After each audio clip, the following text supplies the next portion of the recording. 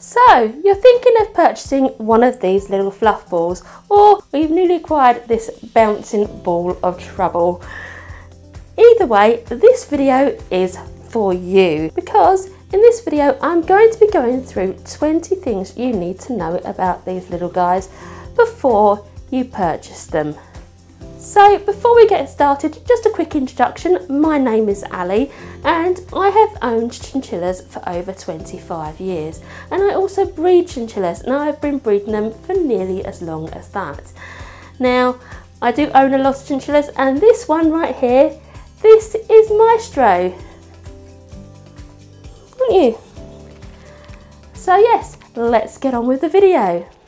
So number one, chinchillas are huge long-term commitment. They really are. They live exceptionally long for a rodent, whereas most rodents live like between, like rats live two years, hamsters live two years, mice don't live particularly long. These guys can live 20 years plus. Now I have some that are in their mid-teens, so 16 and 15, lots that are 15 years old.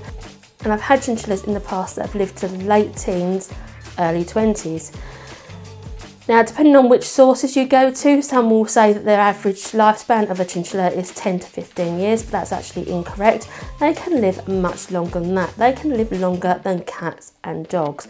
So if you're thinking to yourself, I want a chinchilla, think about the long term. So have you got any plans for the future, like you want to go to college or university, or you know, you want to go travelling, and you don't think you're going to be able to look after a chinchilla for that period of time, then I would say don't get a chinchilla or, get, or go to a rescue and get an old chinchilla to begin with because they are a real long-term commitment. You really have to think to yourself, are you going to be able to look after a chinchilla for 20 plus years? So yeah, that's the first one. Exceptionally long lifespan, so it really is a big commitment. Chinchillas do not cope well with heat. They have extremely dense fur. They have one of the densest furs of any land mammal. And because of that, they are designed to live in cold environments. So during the summertime, when it's really, really hot, you have to think about how are you going to keep them cool. Because if they get too hot, it will result in a heat stroke and potentially death. So it's really important that you've got to work out how are you going to keep your chinchilla cold during during the hot months. Now in the US, I know that aircon is a bit more of a standard thing in your houses. In the UK, it's really not like that at all. Most houses do not have most houses do not have air conditioning so I personally have a couple of portable aircon units which I use to keep the air in my chinchilla room cold. But you really do need to think about this in advance. How are you going to keep that chinchilla safe and comfortable during the summer months? Because during the summer months, it's like having a winter coat that you can't take off. So yeah, can be extremely uncomfortable for a chinchilla and also eventually can lead to heat stroke and death. So yeah, really important. If you're going to get a chinchilla, think about how are you going to keep it cold in the summertime if where you live it does get hot. Number three, chinchillas are rodents and they have teeth that continuously grow. And like all rodents, they need things to chew on in their cages, toys, wood blocks, lots and lots of things for them to chew on. If you don't give them enough things to chew on, then they're going to have dental issues.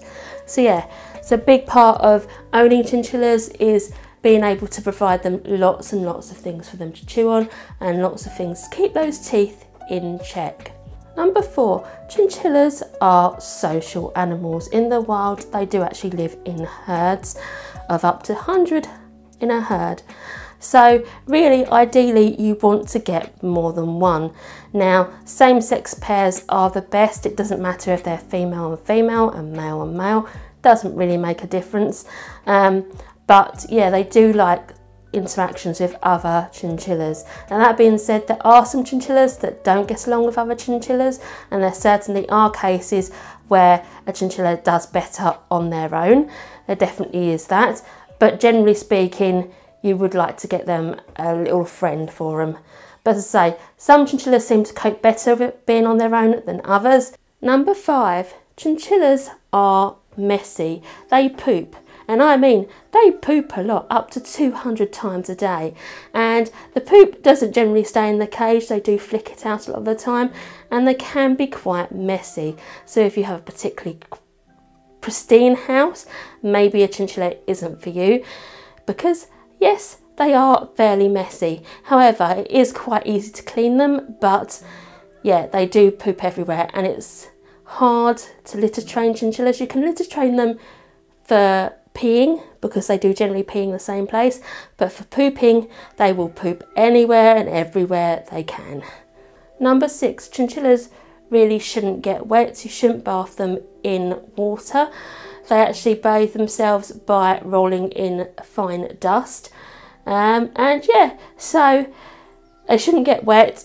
You've got to give them dust baths regularly. Okay, so number seven, chinchillas are crepuscular, which basically means they are most active at dawn and dusk, but are also active at night, which means that if you want to interact with your chinchilla, it's going to be in the evening time. During the day, they will mostly be sleeping. So if you want a daytime pet, this is not the fella for you. If you want an evening time pet, then most definitely yes. Number eight, following on from number seven, chinchillas are actually quite noisy at night. Now, during the day, you wouldn't even know you had a chinchilla probably because they are so quiet, but at night time, when they get active, they will bang about their cage a lot. And this can keep people up. So if you want something that's in your own bedroom, then you might want to reconsider, you might want to put it in another, put your chinchilla in another area because they can get quite noisy with all the jumping about they do. Number nine, chinchillas can make some very, very strange sounds. On the whole, they're quite quiet, as you can see, this little boy is quite quiet, but they do make some very, very unusual sounds from time to time. And if you want to hear what the sounds they make, I have got a whole load of videos about chinchilla sounds, so go check them out.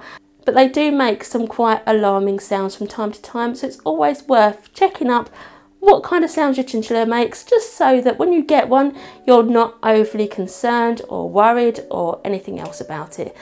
Number 10, chinchilla diet. Now, a chinchilla's diet is very specific, but it is really, really simple. Now what you want is chinchilla pellets specifically designed for chinchillas and Timothy hay to give them and fresh water. That is it. You can offer them treats but these have to be really, really sparingly and they have to be healthy treats as well. So treats are really kept to a minimum because they are treats. Now I know that with some pets, variety is the spice of life and giving them variety offers lots of enrichment to an animal. However, with chinchillas, it's really not. You have to keep everything as the same as you can. Any change to their diet can potentially lead to digestive issues like diarrhea and bloat. So you have to be really, really careful. If you want to change anything in a chinchilla's diet, you have to do it really, really slowly, even to the point of where you've bought a new chinchilla and you've got their pellets that they've used and your pellets which you're going to use. If they're a different brand, you want to mix the two together and gradually wean them over because that drastic change, even though it's just changing from one pellet to another pellet, can cause some digestive issues. So yeah, really, really simple. Don't want to give them any variety, don't want to give them any fresh fruit or fresh veg or anything fresh because it's bad for them. Basically stick to your Timothy hay, your pellets and the occasional healthy I like hay-based treats. Number 11, chinchillas do need time outside their cage and this is purely for enrichment purposes so they have somewhere different to explore. Obviously it has to be done safely so you need a safe area for them to do it. However, they don't need hours and hours. Hours and hours of time outside their cage for playtime can be quite dangerous for a chinchilla um, because chinchillas can get exhausted, overheat, and can have seizures due to overexhaustion if you have them out for excessively long times.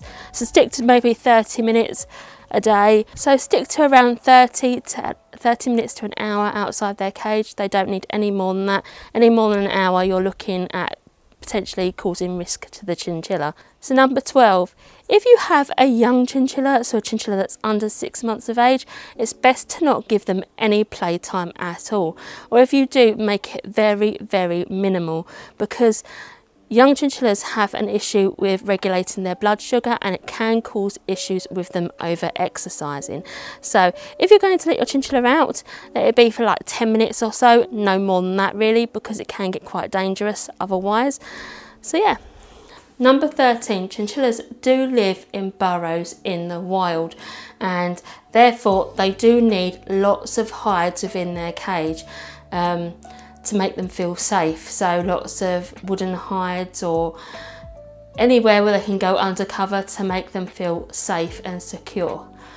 Number 14, chinchillas cannot have plastic in their cage. Do not give your chinchilla plastic toys or plastic ledges or plastic bases in their cage. If you have plastic in your cage, you're going to need to cover it up with say fleece for example because if they chew that plastic that is really really bad for them because it can cause blockages and impaction and basically they can suffer a slow and painful death from that. So you want to want to you really want to avoid that.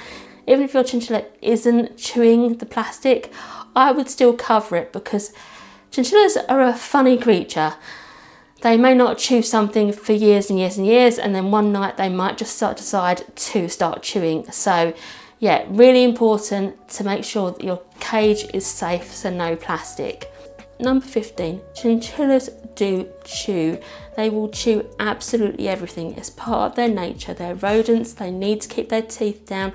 So they will put their teeth in absolutely everything they can find. When you're giving your chinchilla out of cage time, um, expect some damage to walls, skirting boards, door frames, etc. If you don't want that, you can always put them in a chinchilla pen so it's a bit easier to manage their chewing, but they will chew on everything. No matter how many chew toys you put out for them, they will still gravitate to things that you don't want them to chew. So just bear that in mind.